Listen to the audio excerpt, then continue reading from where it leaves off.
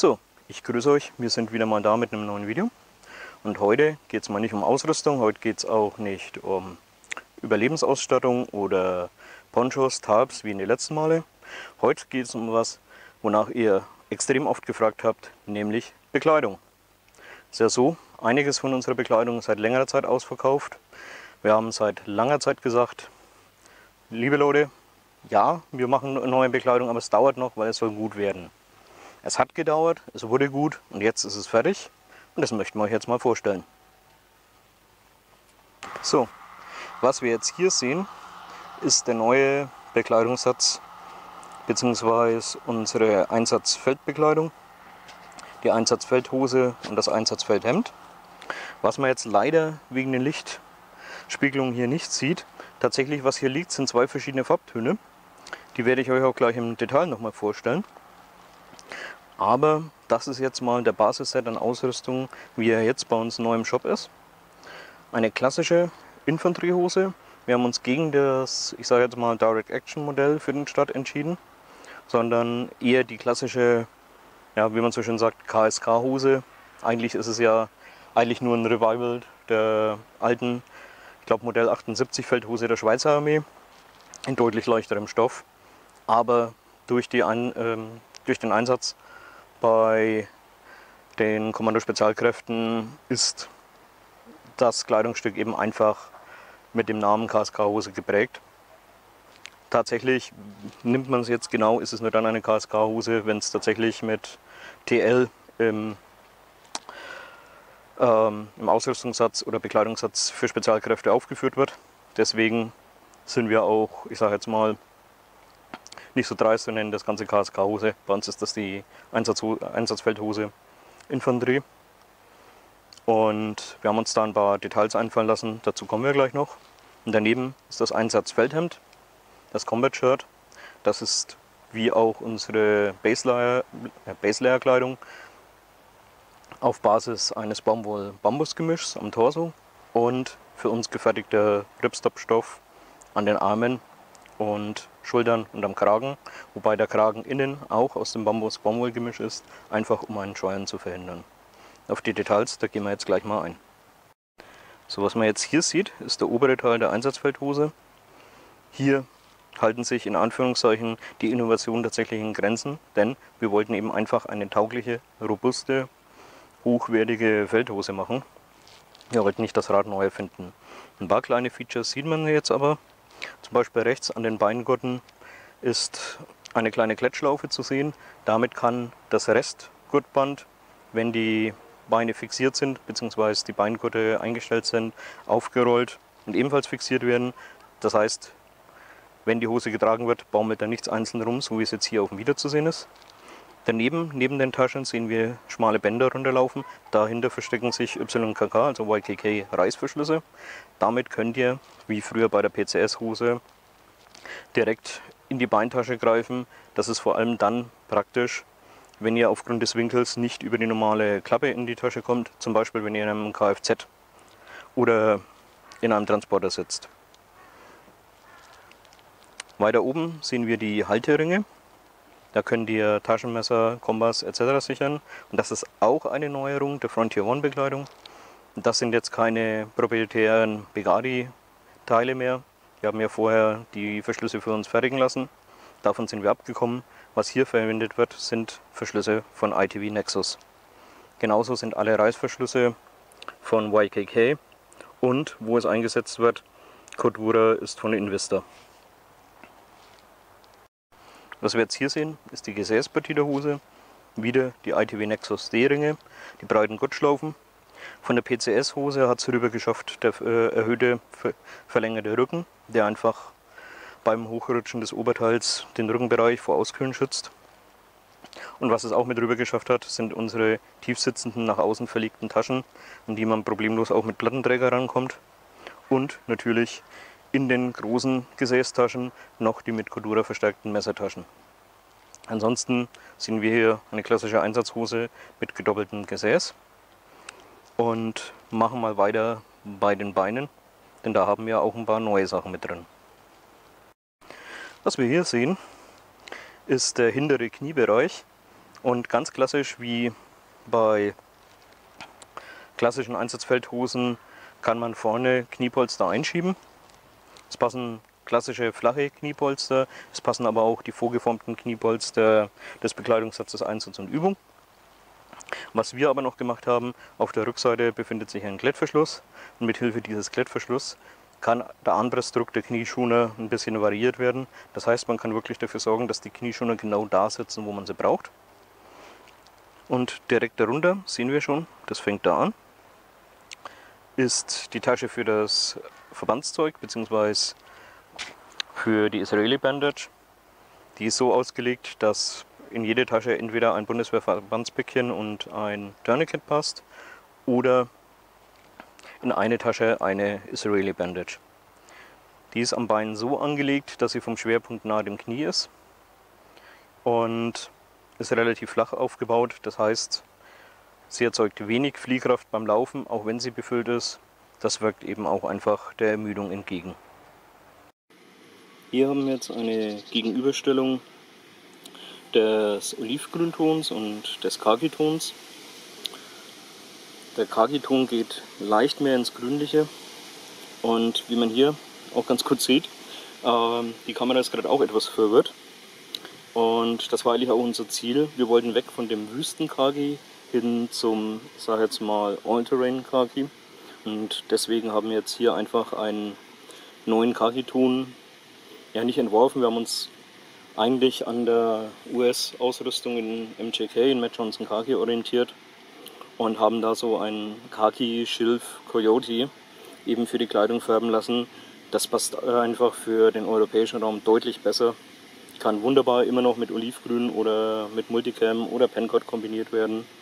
Und in diesem Coyote wird unsere Bekleidung dann eben sein. Das wollten wir jetzt so ein bisschen im Vergleich auch nochmal zeigen. Kommt jetzt bei Sonnenschein, glaube ich, doch noch ein bisschen besser rüber, als wenn wir das auf unserem Fototisch eben darstellen. Und man sieht hier eben auch, wie das Muster arbeitet, wenn sich das Licht verändert. Und hier haben wir das Combat Shirt oder Einsatzfeldhemd. Das ist auch ganz klassisch das ist jetzt aufgebaut. Das klassische Combat Shirt, in dem Fall jetzt in Olivgrün. Schnitt ist, ihr seht es gleich. Ihr habt hier unten, habt unten ein kleines Täschchen, wo der Zipper verschwindet, wenn ihr aufmacht. Ihr habt oben eine Zipperabdeckung und der, die Innenseite des Kragens ist aus dem gleichen weichen Bambus-Baumwolle-Mischgewebe wie der Torso. Ähm, farblich ist es leicht abgesetzt, das ist auch so beabsichtigt. Und vom Schnitt her, wie gesagt, ein klassisches Combat-Shirt. Ihr habt hier einen großzügigen Einschub für Ellbogenpolster. Ihr habt die Cuffs und auch hier wieder robustes Polycotton Ripstop Gewebe für die Arme. Das wird unser neues Mainstay Combat Shirt. Das wird es auch in anderen Farben geben, sprich, das wird später auch in Coyote kommen. Das kommt in Flecktarn. Das kommt auch im klassischen Pencott im Baumwollmischgewebe. Ja. Und, und wir haben ein letztes Teil unserer Serie. Das ist das Windproof All Season Combat Shirt das ist dafür ausgelegt, wirklich bei jedem Wetter, zu jeder Jahreszeit, in der Pencott Green Zone funktioniert, getragen zu werden. Das kann bei plus 5 Grad und Nieselregen genauso getragen werden wie bei plus 25 Grad und wunderbarsten Sonnenschein. Wir verwenden für den Torso auch wieder unser Baumwoll-Bambus-Mischgewebe, aber für Schultern und Ärmel verwenden wir das Original Pencott Green Zone Light White Poly. Das ist mit einer DVR, mit einer wasserabweisenden Beschichtung ausgestattet, ist winddicht, enorm atmungsaktiv. Also wir haben ja einen Atmungsaktivitätsfaktor von weit über 15.000. Dieser Stoff atmet fast besser als Baumwolle. Der hat fast Eigenschaften wie leichte Sommerkleidung aus Leinen. Das ist einfach phänomenal.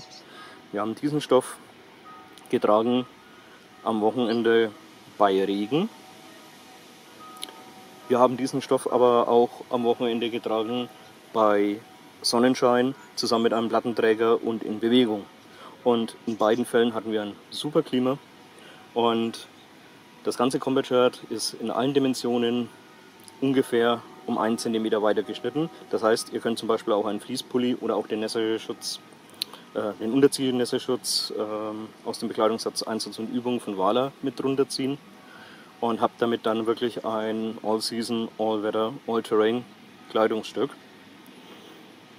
Es ist, glaube ich, für jemanden, der die Bekleidung noch nicht getragen hat, schwer zu verstehen, dass man für den Sommer ein Polyester-Bekleidungsstück empfiehlt. Aber dieser Stoff ist von der Atmungsaktivität, vom Kleinklima so hervorragend. Das Einzige, was wir an diesem Kleidungsstück tatsächlich bereuen, ist, wir bekommen den Stoff nur in Pencott Green Zone.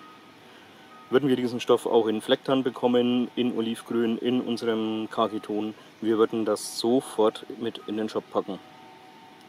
Das geht jetzt aber leider nicht. Die Firma MMI produziert es leider nur in Pencott, deswegen haben wir zumindest die Gelegenheit beim Shop vergriffen und bieten euch dieses Hemd in Pencott Green Zone an. So, das war es auch schon wieder mit der Produktvorstellung. Wir haben euch jetzt die eigentlich drei wichtigsten Sachen, die wir jetzt neu im Shop haben, vorgestellt. Das Combat Shirt, die Einsatzfeldhose und das All-Season Combat Shirt in Pancott. Es werden auf jeden Fall noch neue Sachen kommen. Ihr habt es auch schon gesehen, in den letzten Tagen kamen die neuen Molletaschen und damit ist noch nicht das Ende der Fahnenstange erreicht. Wir geben da jetzt wirklich wieder richtig Gas. Da wird in einem, ich sage jetzt mal, stetigen Fluss Neues kommen. Ihr könnt gespannt sein, was wir da jetzt noch alles auf der Pfanne haben. Ich möchte allerdings auch noch mal ein Thema aufgreifen, das nicht so schön ist, denn die Preise werden bei der Bekleidung und bei der Ausrüstung steigen. Bei der Ausrüstung in einem geringen Maß. Es ist einfach so, dass wir in den letzten 5, 6 Jahren bei der Ausrüstung keine Preiserhöhung gemacht haben, der Rohstoff aber deutlich teurer wurde. Das müssen wir jetzt leider nachholen. Aber bei der Bekleidung ist es einfach so, die Preise für Baumwolle, sprich für Bekleidungsstoff, sind so immens gestiegen in den letzten Jahren. Ähm, um das mal zu verdeutlichen, wir hatten zeitweise eine Phase, wo wir Bekleidung günstiger aus 1000D Cordura hätten produzieren können als aus Bekleidungsstoff eben weil aufgrund der Baumwollpreise normaler Uniformstoff so teuer geworden ist. Deswegen, leider Gottes, wir werden die Preise von früher, die wir bei der Bekleidung hatten, nicht mehr halten können. Die Bekleidung wird deutlich teurer.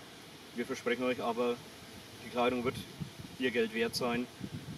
Wir haben hier einen Superpartner, der auch für das norwegische Militär fertigt, der für die australischen Streitkräfte fertigt, der einen völlig, ich sage jetzt mal, anderen Ansatz in der Qualitätssicherung hat, wo wirklich alles angeguckt wird, jeder Arbeitsschritt wird geprüft, wo wir auch wirklich einen direkten Draht zu haben. Das heißt, zusammen mit dem neuen Material, dem von uns äh, gewebten Stoff, der für uns gefärbte Stoff, die neuen Verschlüsse von ITV Nexus, die ganzen Kunststoffteile von ITV, die Reißverschlüsse von YKK und wo es anfällt, das Cordura von Invista, bekommt ihr einfach, ich sage jetzt mal, für etwas mehr Geld als üblich locker das Doppelte an Qualität, Wertigkeit und Robustheit.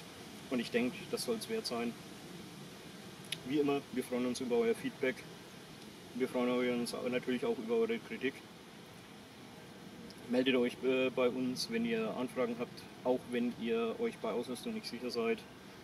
Wir werden euch definitiv nicht irgendetwas reindrücken, was ihr nicht braucht wir sind auch so ehrlich, wir sagen euch, hey, pass mal auf, Leute, gib das Geld dafür nicht aus. Das äh, macht nicht das, was du möchtest. Warte lieber auf das oder weich lieber auf die günstige Lösung aus. Deswegen uns ist wichtig, dass ihr mit uns kommuniziert. Wir sind jetzt nicht das super Medienteam, wir sind auch nicht die, Entschuldigung für den Ausdruck, Rampensäue, was die Präsentation angeht. Wir sind einfach Praktiker. Unser Motto ist ja nach wie vor entwickelt, nicht designt. Und das schlägt sich eben auch bei uns in der Kommunikation nieder. Wenn ihr irgendwelche Fragen habt, wir können euch bis zur letzten Naht beraten. Meldet euch bei uns. Wir können es euch immer nur anbieten, macht es davon Gebrauch. In diesem Sinne, ich mache mir jetzt wieder zurück an den Entwicklertisch und wir sehen uns. Macht's gut.